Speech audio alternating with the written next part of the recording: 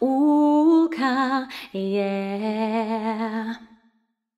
One happy birthday dot com.